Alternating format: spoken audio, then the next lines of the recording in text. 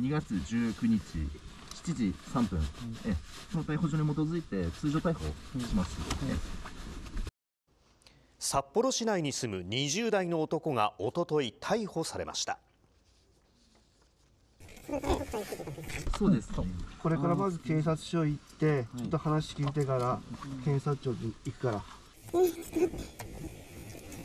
逮捕されたその理由とは？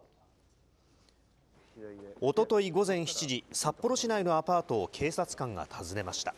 この男は半年以上にわたって信号無視の反則金の支払いを拒んで交通量きたのです。の多いこちらの交差点で赤信号を無視しそのまま直進したということです。去年7月札幌市東区の創生川通りで赤信号を無視する交通違反をした男。反則金9000円が課せられましたがすぐに支払わずその後裁判所からの7回の呼び出しにも応じてきませんでしたどんな違反か覚えてる？そう、あれから信号無視です。うん。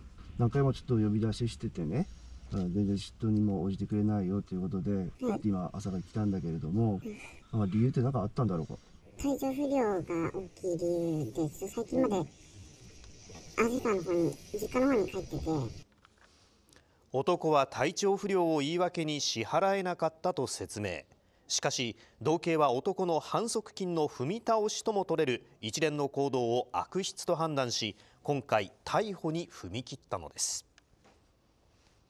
令和6年2月19日7時3分、えその逮捕状に基づいて通常逮捕します、え。落ち着いた様子でしたが逮捕されるとなり突如焦り始めた男だから持ち物についても預かります。ちょっと待ってください。ちょっと待ってください。じゃあちょっとここで電話僕たちは散々待ってるから。電話はできない。もう逮捕するから。そうなんですけど、中にいる人に、なもうできないから。こちょっと待って、それから散々待ってるから。すみません、ちょっと、落ち着いて、ここでお支払いとかってできないできない。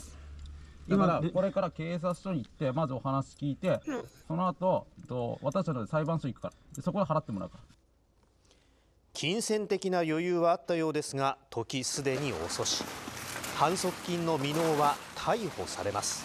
逃げることは絶対にできません。今まで何回だって呼び出されてた？うん、記憶にないぐらいたくさんあるよね。現在札幌市内には交通違反の反則金を支払わず複数回呼び出されている未納者が17人いるといいます。逃げ得は許さない。道警は今後も正当な理由なく呼び出しに応じない未納者は積極的に逮捕していくと話しています。